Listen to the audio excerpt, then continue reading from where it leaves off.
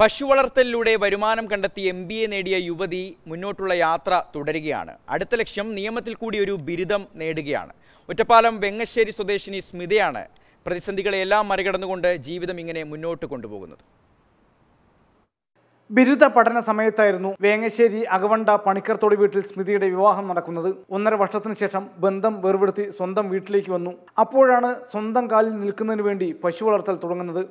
രണ്ട് പശുക്കളുമായിട്ടായിരുന്നു തുടക്കം.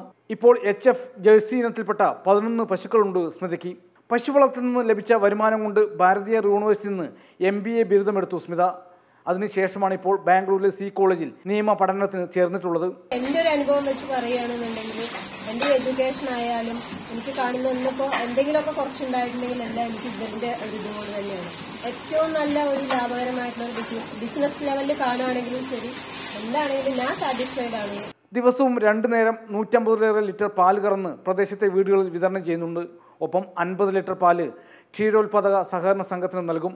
ലാഭകരമല്ലാത്തൊരു ബിസിനസ് അല്ല നമ്മൾ സാധാരണ നാടൻ പശുക്കളിൽ നിന്ന് മാറിയിട്ട് കുറച്ച് ഹൈബ്രിഡ് ആയിട്ടുള്ള പശുക്കളിൽ എടുക്കുക. അതിനൊക്കെ വേണ്ട രീതിയിൽ നമ്മൾ പരിപാലിച്ചു കൊണ്ടുപോയാൽ ഒരിക്കലും ഈ ബിസിനസ് പിന്നെ നഷ്ടമാവില്ല. തടുക്കശ്ശേരിയിൽ പാട്ടത്തിനടുത്ത നാലേക്കർ സ്ഥലത്താണ് പശു ഫാം. ഇവിടെ തന്നെ കോഴി വളർത്തലും മത്സ്യകൃഷിയുമുണ്ട്.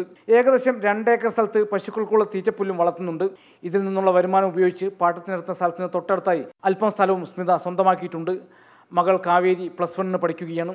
സ്മിതയ്ക്ക് പിന്തുണയുമായി അച്ഛൻ പ്രഭാകരനും അമ്മ കോമളവുമുണ്ട്. മാതൃഭൂമി ന്യൂസ് പാലക്കാട്.